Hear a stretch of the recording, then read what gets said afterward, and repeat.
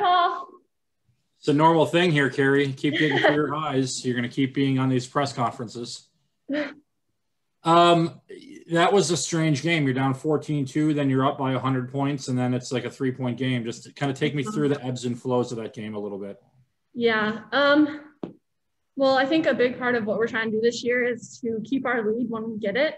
And it's part of Coach Mary always keeps telling us that it's just going to be a part of us maturing and being able to stay focused when we do have a lead. So that's what we've been working on this year. And I think we kind of fell short a little bit there and we didn't keep our focus 100%. We had some turnovers and um, yeah, I think it's a learning process. Part of that learning process is, is I guess I'd imagine learning how to pick yourself up when you're down and and and did you even realize you were down 12 points? Is it like how much do you look at the scoreboard in the first quarter and realize you've got a, a big hole to dig out of? Yeah I, we realized it. Um, yeah we gotta not let that happen right out the gate. Um, but yeah we just knew we had to do something then and there or else it would just we would just keep digging ourselves in a hole. You you had a career high in the last game mainly because you were knocking down three pointers from all over the place. You were scoring in a variety of ways today can you talk a little bit about taking what the defense gave you and turning that into some other opportunities that maybe weren't from the three point line? Yeah. Um, well, I mean, yeah, I can shoot the three pointer, but I can also drive. And when, especially when I have coming off the game where I'm five for five, I think a big thing was to to realize that you know maybe they'll take me out of my shot, and so I have to adjust to that. Um, but yeah, I thought the team did a really good job of getting each other looks from the three point line and from diving, all different types of ways. So wasn't just limited to one. And I want to ask you about Kara. She came in and, and gave you guys such a spark there. Mm-hmm. Um, I know that maybe she doesn't get a lot of the minutes that everybody else does, but can you can you kind of uh, yeah. just elaborate on what her role is and, and what how she's helped the team? Yeah, Kara's a really good shooter. Um, in practice, she's knocking them down all the time um, you know, she comes in the game and knocks him down. Um, that was huge. It came at a critical point and it gave us a lot of energy. And not only can she shoot well, she also has really good cuts. Um, and that was something she did today too. She had a nice little cut and a quick little easy two pointer. And yeah, she she kind of sparked some energy for us. Very good. Carrie, thank you very much. Thanks, Paul. Thank you. What's up, Grace? Hey. Um, tough game on Saturday into a game today where you uh, you seem to be scoring at will at times. Um, can you just talk about maybe bouncing back a little bit from uh, from the performance on Saturday to a great performance today? Uh, I just think I try to do what I can for the team when the team needs me to score. I do my best to try to, you know, give my team that. And I think it's really fun creating for people, creating shots. So just working a little bit harder and staying focused, bouncing back. You guys were down 14 to 2 almost immediately. How daunting is that to have to dig out of that hole? Well, when you realize that you're in that deficit early, I think turning it up right away is huge. Um, controlling the tempo and just, like I said, working hard and having to scrape up from that builds a lot of momentum going into the rest of the quarters. You, you, you guys turned it around. Not only did you get back in the game, you then took a huge lead. Uh, what I mean, what was working, you know, during that stretch? Our defense was I think our defense was incredible, and we were fighting for the boards, working as a team on offense, and really um, creating the best offense we could for each other. And the the more we play together, the better our team is. I, I asked Carrie this. and I'm ask you this as well. Um, Kara had such a boost there in the in that stretch of turning the game. What do you see from her when she takes the court? Someone who's willing to work hard, um, really play her role for the team, and she's always trying to do the right things within our offense and within our defense. And she's just one of those players that uh, works really hard. Very good. Thank you very much, Grace. Yeah, of course. Thank you. Thank you.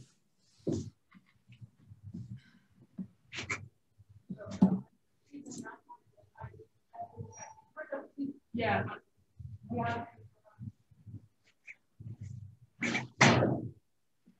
What's up, Caitlin? Hi, how are you?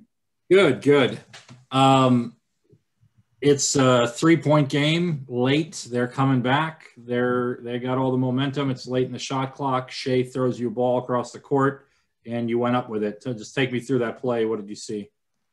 Yeah, um, I just had to be confident because you probably know my shot hasn't been falling that great this season um, from three, but I saw that my player was in and everyone yelled like cap for my player, so I popped out. So yeah, I just knew I had to shoot that shot.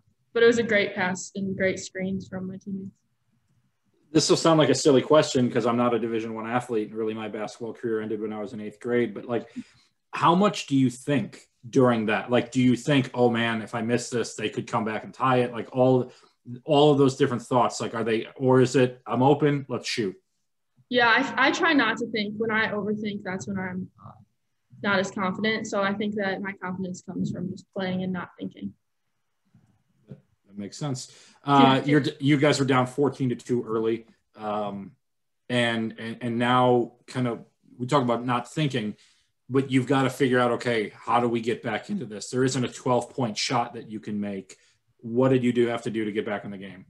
Yeah, I think we just had to take a possession at a time, get stops, and turn that over on offense um, to just stops and scores, what Mary says all the time. Was, that was the word stops and scores from her? Yeah, she always says we have to get stops and scores. One of the key players I thought in the game was Kara. Um, I, I, know that I think you guys are close. I, I know that she's maybe mm-hmm. like a little younger sister for you on the team. Just what when she comes in and gives you such a spark there in the you know first quarter, what how proud does that make you as kind of an older older player on the team? Yeah, it's just exciting to see her. Like she came in and she kind of lit it up for us to like get us that momentum because we were pretty slow to start on offense. So yeah, it's really exciting watching her hit shots and play well. Speaking of momentum, my final question for you: You guys are starting to build momentum. You know, I know you had the game in the middle there, the Miami Ohio game, but now a second, you know, good home court performance. Talk about the momentum that you can build taking it into Wisconsin. Yeah, I think just the few games we've had under our belt, um, we have a lot of good momentum just going into Wisconsin. Um, I think it's giving everyone confidence and show that each night, like someone else can step up. Um, we can have like a few like few big scores. Other people are doing like if not scoring, they're still doing big things like having assists or getting stops on defense. So everyone's just playing their role really well. And it's falling into place. And actually, this is my final question. Satterfield for them. Um, number uh, number 11 you know came in as i think one of the top players in the big east and i think you guys limited her to six points and i mm-hmm. think you had her for for a lot of the game that she was in. Just you how, how difficult of a task was that going up against her? Yeah um, she rebounds really well so we just had to worry about boxing out and rebounding um, the ball before it got in her hands and in the fourth quarter she got a few of those rebounds which kind of got them back in it but luckily we were able to get some stops and momentum on offense. Very good, Caitlin. Thank you very much. Congratulations. Yep. Thank you. Yep.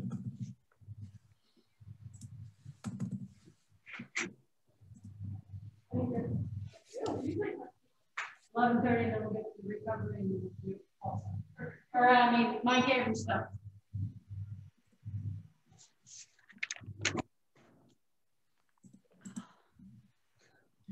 You look you you have a right to look somewhat exhausted. You were jumping up and down and running all over the floor today. When yeah, I'm getting a workout with the new way the benches are set up for COVID. I can really get around, move a little bit. Got tennis shoes on.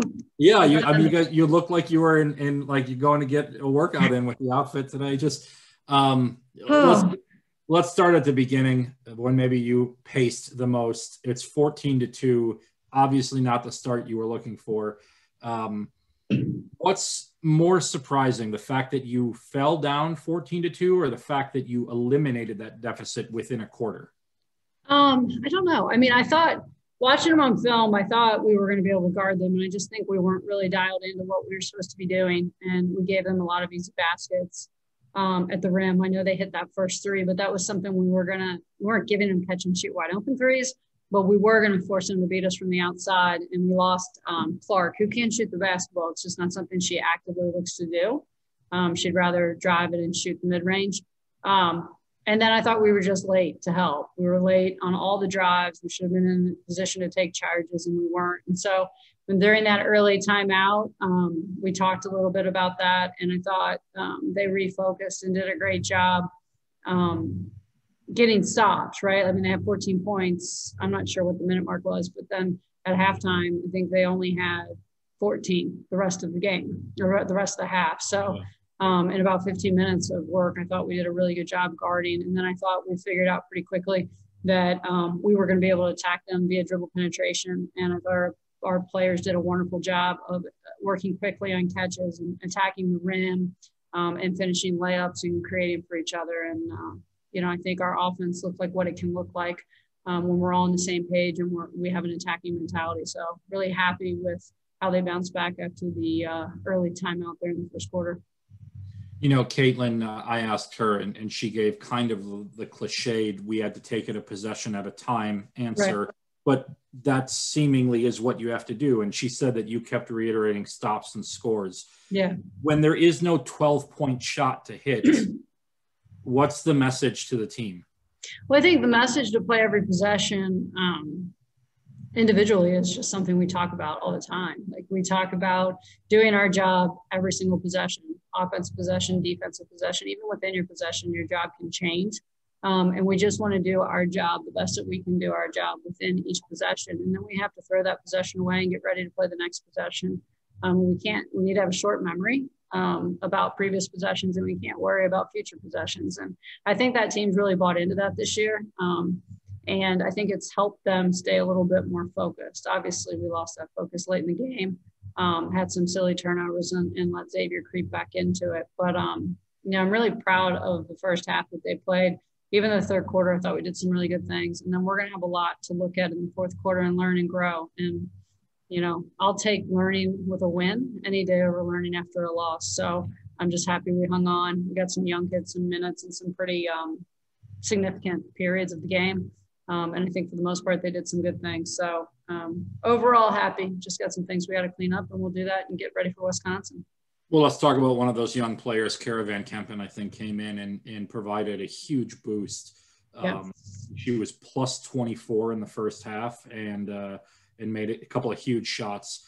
Uh, she doesn't get a ton of minutes except for when she forces you to keep her on the floor, I guess. Uh, just your thoughts on what she was able to do in this game. Um, really happy for her. I I am the sky's the limit for that young woman. Like I'm really really excited about Kara. I think that she could be a real net, uh, matchup problem for people. Um, just because you know she's a kid that played a lot of guard in high school, and she's a kid that's going to move into more of a four or five role for us. She's learning to deal with the physicality of playing in post and the rebounding portion of that, um, and she's grown tremendously in that. Um, but I think her ability to pass the basketball, for the most part, her decision making is great. She's learning how to drive against more physical players. Um, but I'm really, really excited for her future here. And um, I, she was a huge boost off the bench. I mean, I didn't want to take her out the whole entire first half. So, um, really happy for her that she's seeing the results of a lot of hard work. She is. Uh, she's a tremendous worker. Like that kid is in the gym all the time. She wants to be so good at the game of basketball and she puts in the time and energy. So anytime she has success, I just am so happy for her. Um, Grace White is someone who maybe didn't have the scoring game she was used to last time out right. and comes out and um, just gets to the line 18 times to the free throw line. Uh, I mean, she hit shots today, but when when she's coming off a game that she's struggling, how key is it to manufacture opportunities to score by getting to the line? Yeah, we tried to go right to her. So the first, um, the second play of the game was to get her going. First, uh, first play was to try to get Shay going, and then the last play um, had the ability for either one of them on our first three plays. So we wanted to get her involved. Again, like looking at our team versus the, their team, I thought we were going to have advantage driving in the post, and so we just needed to see who was going to match up with who, um, and then take advantage of that. And I think you know, one of the things I was really impressed with this group today is that, you know, our movement, our offense is usually based on a lot of motion and moving. And today we realized we could play matchups and we did a good job screening, getting the switches that we wanted, and then driving the kids that we wanted to drive. And I thought Grace did a tremendous job um, figuring out her matchups, and her teammates did a, a a really good job of creating space for them, getting out of the way, getting getting their players up, and letting her be able to drive to the basket. And then when she gets going, she's a load, man. She's strong as an ox, and she got into people. She finished. She got to the foul line. Um, she was a really, really, really huge piece today you you hear NFL coaches will talk about scripting the first 10 or 12 plays mm-hmm. of a game as, as a basketball coach. Are there it sounded like maybe the first three you had in mind of what you wanted to do? Yeah i try to script the first couple usually unless we just don't know how teams are going to play us. We felt pretty confident um, that xavier wasn't going to switch some stuff and if they did they were going to switch mainly like screens guard to guard forward to forward. And so we thought we would try to attack some matchups. We wanted they help off the ball side corner. So the first play was to get Shea going in a spread. Uh, we put Ella over there because Ella likes shooting in the corner. A and B, um, post players aren't as good at helping up like Xavier or helping off on the drive. So we thought we would try to get Shea a, an early quick basket at the hoop. And if they helped, we were going to throw it out to Carrie at the top of the key and let her get her top of the key three. So, um, you know, we had some ideas of getting early looks for people and you know, it's something we try to do every game. Not every game we can because sometimes, especially in our league, teams know what we're going to do, so they kind of have a they have a crazy plan of how they're going to guard us, and so it takes us a couple possessions to figure out how they're going to guard before we can make the adjustment of how we need to attack what they're doing. Three more questions for you, and then I'm done. Uh, Carrie, we've been talking for five minutes now and haven't talked about someone who had a career high for the second straight game. I cannot remember a Valpo women's basketball player who scored 50 in two games in yeah. a long, long time. What's working for her right now? Carrie is just a great basketball player. I mean, I don't know how to say it. Like, I think she really fits how we play. Like, she can shoot the basketball so well that you have to get up and guard her, and she's talented enough. You know, I think the times that she struggles driving the basketball is when she wants to kind of dance around with it and spin and play with it. When she puts her head down and goes to the rim, she usually scores through the contact. And when she then her counter to that of stopping and stepping through, like she's strong enough to be able to take that contact. But you know, she's such a talented player offensively. She's a great defender. She gets herself easy buckets defensively by getting steals and and and deflections and getting out into the break. But um, you know, her skill set, when I watched her play, when we had the opportunity when she was transferring, when I watched um, her very limited clips from her freshman year, I was like, wow, this kid could be a monster. And, you know, she's come in, she's figuring things out. I think her and Grace are both kind of figuring out some things for us, um, along with Kara and Caitlin. And I think, you know, year three, they're just understanding things more. Um, we're just a little bit more mature. And again, like, you know, I think we have pretty much five or six players that the sky's the limit for what they can accomplish individually. And I think the beautiful thing is they're so unselfish that they're going to work to play together the whole time. You know, like they just, and when it's their night, they go with it. You know, we could go to Wisconsin and maybe it turns into it's Shay's night and it's, you know, Ella's night. And, you know, that they're ready to step up when it's their opportunity to score, depending on how teams guard us. And um, they're very unselfish young people, and they really play hard for each other, and, and that's a beautiful thing to watch. Uh, second to last question, Caitlin Morrison, late in the shot clock. Shea throws a, a beautiful skip pass across mm-hmm. the court. Caitlin doesn't even think. She just said it when she tries not to think because she doesn't yeah. do well. She hits a shot there. Um, huge moment for her. Just talk about that play and, and what you see. It was a huge play. I mean, for Kate, you know, sometimes she struggles with the confidence to take that shot. And I joke with her sometimes I'm more confident than she is shooting the basketball. Um, for her to have the confidence to step up and take that shot in that situation in the game um, was huge. And I think for her to understand that Shea was willing to make that pass to her shows that her teammates are confident in her to take that shot in the end of the game. And it was 100% the right decision. We put him in an isolation situation. Um, and I'm fortunate to be able to do that late in the game because Shay just continues to make all the right decisions. And our team does a great job. Like she hit that shot, but her three other teammates did a great job capping in the defense and getting her the time to be able to take that shot. So um, they're really figuring that stuff out. And it really, it leads me to be really confident when we have a lead with five, four or five minutes left that we're going to be able to kind of um, milk out the clock a little bit. And obviously tonight, um, it didn't look as good as it hopefully will moving forward. Obviously, their pressure bothered us a little bit, and we turned it over. Um, I think if we would have kept from turning the basketball over, we would have more of those possessions, and hopefully, it wouldn't have gotten quite as tight as it did down the stretch. And we're going to try to make some of those corrections against the zone. That's the first time we've seen press this year, and it's just really hard for us to um, mimic that in practice. Like we, we don't have those athletes on my staff to do it. We don't have those athletes on our bench to do it. And so um, for us to try to mimic that is just really hard. So I think today was great to see that. And hopefully we can watch some film and learn from that. So the next time we see that press, we'll handle it better and not 23 turnovers against it. You've got Wisconsin coming up. Uh, you've played Purdue, you've played Illinois. In a COVID year, how challenging was it to put together a schedule? Uh, you know, on on the flip side, I see what the men have done with a lot of non D ones, and their games keep getting pulled all over the place. Right. You went higher, Big Ten teams, things like that.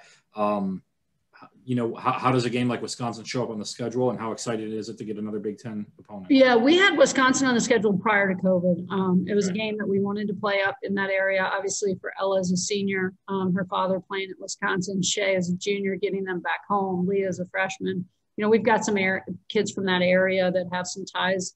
Um, so it was nice. We had we had plans to get there no matter what. Um, you know, we added the Illinois and the Purdue games once COVID hit they kind of presented themselves. And I figured, why not this year? Like everything else has been crazy. Let's go try to play really good teams and see what happens and learn from it. Um, and so I'm excited to go up there. I hate that we're not going to be able to have any fans up there for those people that are from um, Wisconsin, but um, you know, it's another opportunity for to go out and try to get better. Um, it's another opportunity to play against a Big Ten team and, and see where you can match up. And I think that's kind of been how we've approached those games is we're going to come in and we're going to get our game plan together and we're going to go out and we're going to try to execute it one possession at a time and um, see where the cards fall. And we'll, as long as we go out and we play as hard as we can and we leave it all out on the floor, we can off, walk off the floor with our head held high and uh, and be happy with whatever the result may be. And so that's what we'll do again this week. We'll rest tomorrow. We had some kids above 30 minutes again today. We'll rest uh, tomorrow. We'll start getting prepared on Friday and Saturday before we head up there and um, hopefully we can go up there and have a, a good competitive game before we head into Christmas break. And then what were you are you guys staying in Valpo for Christmas? Will they go home? What what are the They're going to go home. They're going to go home. I feel very strongly that they, these young people have been put through enough this uh, this 2020.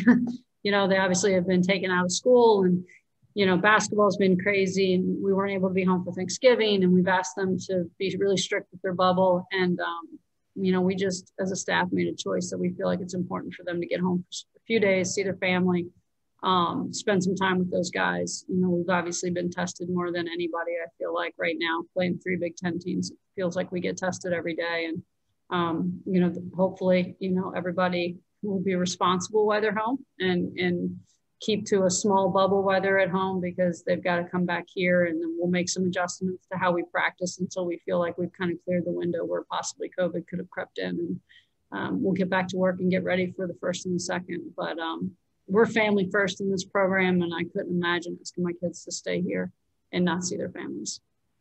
Very good. Thank you very much. All right. Thank you, Paul.